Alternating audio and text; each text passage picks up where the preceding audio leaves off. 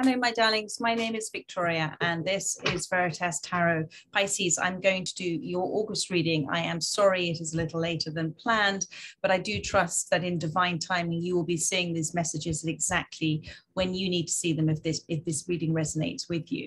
Uh, so I'm going to be pulling three cards uh, from my Guardian Angel Tarot deck. We're going to be looking at your aspirations. We're going to be looking at the hurdle also that you're facing, whether you're aware of it or not. And then we're going to be looking at a little extra spiritual solution and finishing off with an energy and spirit oracle for you, my darling. So let's move ahead with the reading uh, for those that most need to hear it for Pisces. This is your aspiration, what you're aspiring to at this time. Thank you, Spirit. Just one card, please. So we've got the seven of pentacles. Then I'll come back obviously to that. Then we're going to be looking at the hurdle that you're facing at this time. Thank you, Spirit. Too many cards, but I'm seeing the Magician.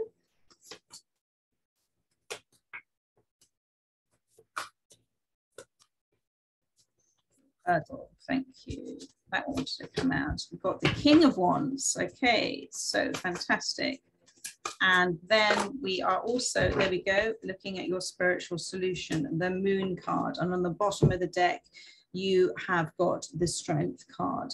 So um, what this is saying to me, first of all, with the strength card, is uh, believe in yourself at this time. Believe that you are much stronger than you know, much more courageous than you know. And in fact, in doing something that is different, intending to something that you care greatly about, with the Seven of Pentacles here, you are uh, portraying uh, you are painting a picture of yourself for yourself and of others of um, somebody who stands in a place of uh, compassion, truth, understanding. Uh, it is a reminder for you with the strength card that it takes great commitment sometimes to continue along a path, even though you feel that there is a lot of um, uncertainty or fear or the unknown there. But Spirit is saying, uh, with these messages here, please trust, trust your intuition on this one. It's spot on for you at this time. And it's also about calming your fears. The strength card is about calming your fears at this time.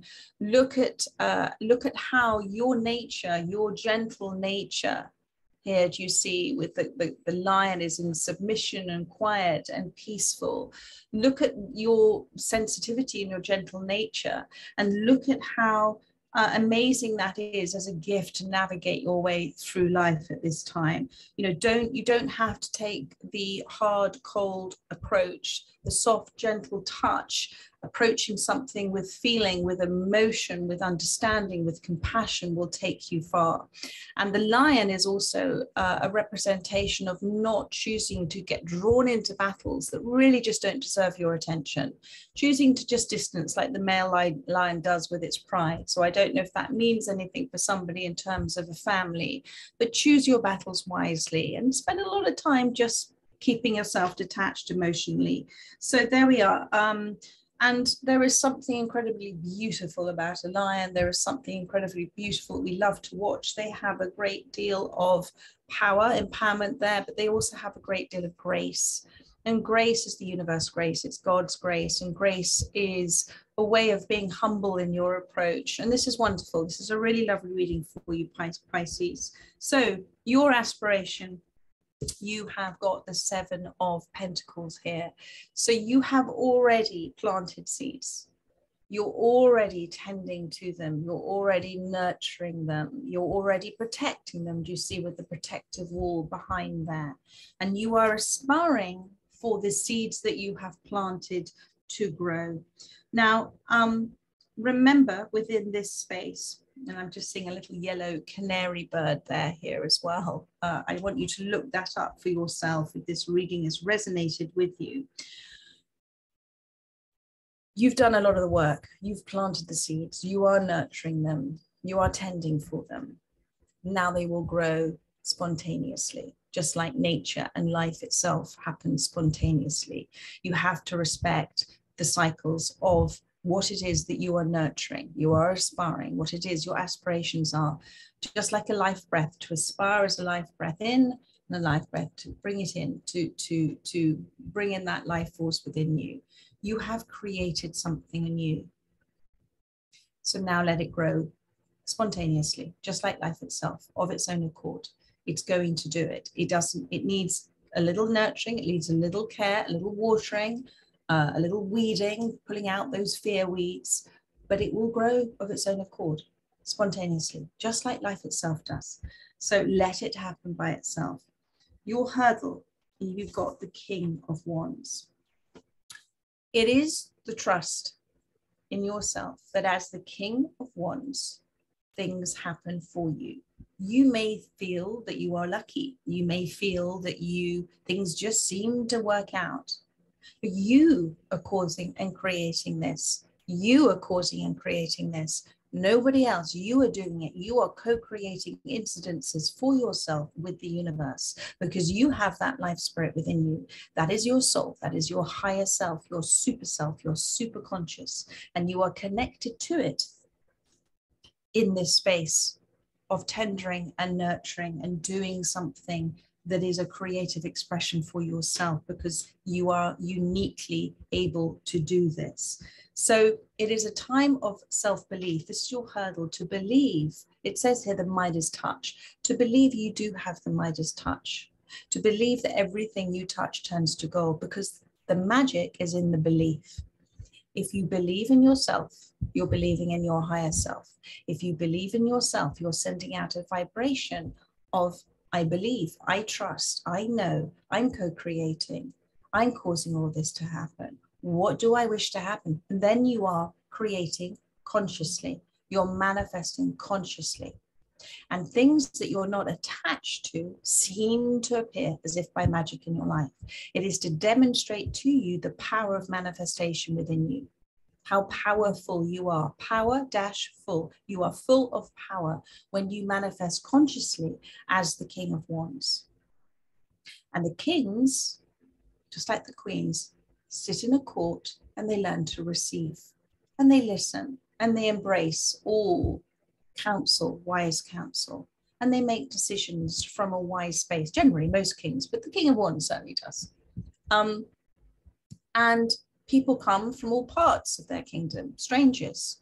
So be ready, be prepared to hear messages, wise counsel from those that you might not know that are going to give you this belief and trust in yourself and the confidence and the power that you have within you because you are a creator. You are life itself.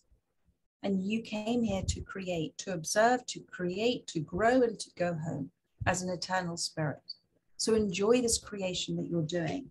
And then you have the moon card, the second of your um, major arcanas.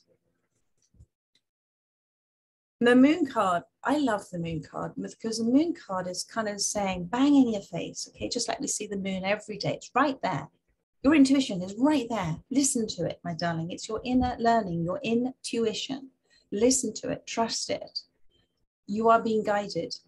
There are very strong, I'm getting footprints, I'm getting blueprints for you to follow. Thank you, Spirit. Blueprints for you to follow. Ask say thank you to your angels, to your guides, to give you, to show you great big whopping breadcrumbs to follow, to present to you a gift, the gift of divinity, to present those ideas, those thoughts that make you go, ah, oh, which is the inspiration, the aspiring to.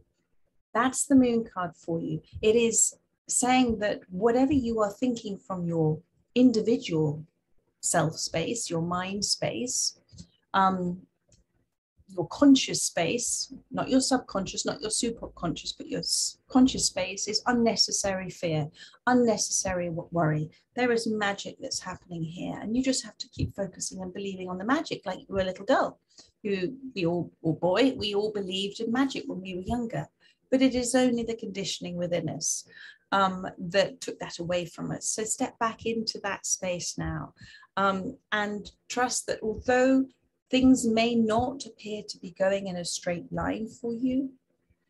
With the ease and the flow, if you go with the ease and the flow with what's happening, listening to your intuition and following the breadcrumbs, you will make this journey and it will be an enjoyable journey right back into source energy, into that connection with yourself where all seems possible.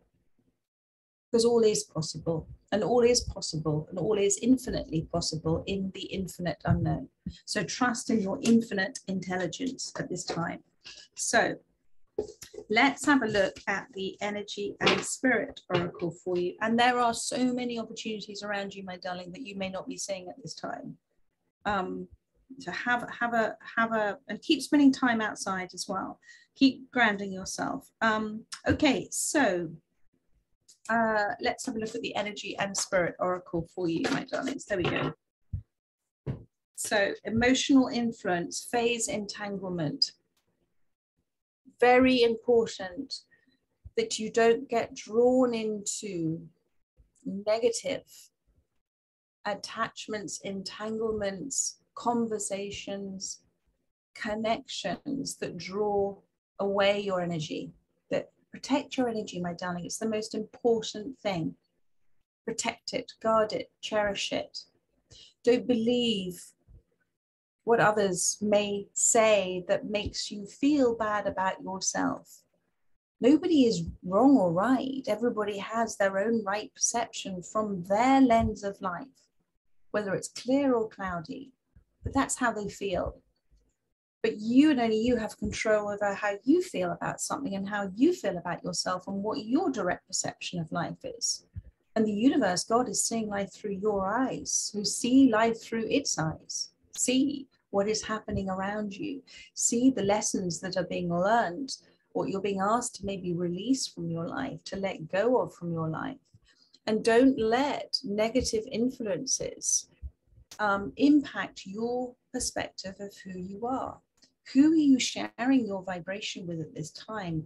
Consciously aware of somebody who might be in a lower vibration to you, and they are meant to be exactly where they're meant to be. That is their soul's choice.